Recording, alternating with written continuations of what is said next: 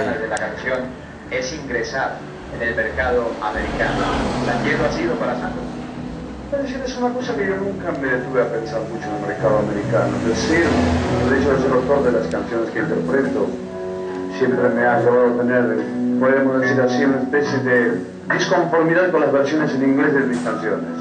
Si mayormente tú sabes que es muy difícil pasar de un idioma a otro una canción, sobre todo el problema de la esencia de la canción a la que se pierde. Eh, tenemos el caso de una canción como Así, que la interpretó magistralmente la señora Nancy Wilson, pero que lo que yo digo en español, lo que dice en inglés no tiene absolutamente nada que ver.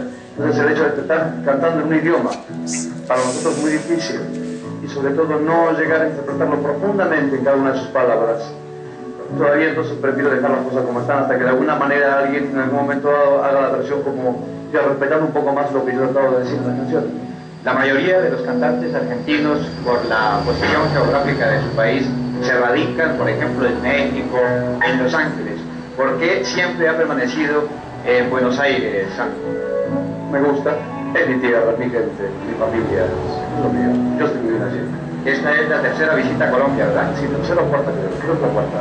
Bueno, ¿y qué balance puede hacer de este recorrido que ha efectuado a través de nuestro país? Sensacional realmente así me, me ha sorprendido muchísimo, porque una ausencia de cinco años, eh, prácticamente sin material discográfico, sin películas, sin telenovelas, es decir, sin absolutamente nada, y tener esa respuesta del público para mí fue una cosa maravillosa. Yo te decía que esta es la mejor temporada. Eh, Sandro, ¿cuáles son las canciones que más solicita el público en sus shows personales? Bueno, aquí en Colombia lo que más pide el público son cosas como Sin Sentido, El Maniquí, o canciones realmente de, la, de, aquella primera época, ¿no? Y tratamos entonces más o menos de conjugar un poco, de, como decíamos, dentro de esta historia, las viejas canciones más nuevas canciones, porque obviamente hay que ofrecerles un nuevo material también. Bueno, entonces vamos con una muchacha y una guitarra y todas esas canciones vamos a que se han quedado definitivamente en el corazón de todos los colombianos. Vamos a continuar con la historia. Sandro Gracias. Por 5